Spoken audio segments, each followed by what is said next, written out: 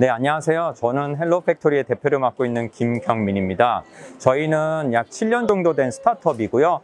교육 시장에는 이제 작년 초부터 저희가 진입을 해서 어, 학교에서 수업 중에 학생들의 피드백을 받아서 선생님들이 모니터링하고 그다음에 학생들과 서로 커뮤니케이션 하기 위해서 필요한 솔루션을 개발해서 현재 어, 국내에 제공을 하고 있습니다. 국내 공립학교 위주로 보급을 하고 있고요. 사립학교나 아니면 컨퍼런스 등 다양한 강의나 교육 시장에서도 활용이 될 수 있을 거라고 믿습니다.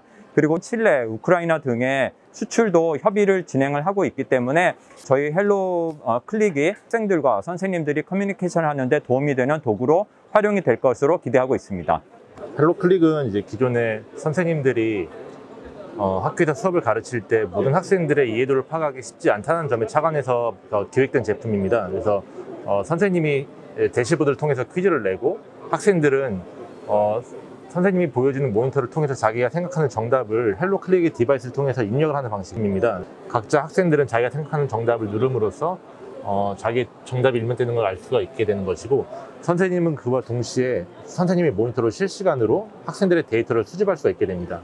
어, 문제 종료를 눌렀을 때그 정답자와 오답자가 나와서 어, 이런 데이터를 통해서 선생님들은 어, 수업을 다시 한번 가르칠 수가 있고 또 여러 가지 활용할 수가 있는 방식으로 저희 헬로클릭은 기획됐다라고 보시면 될 것 같습니다.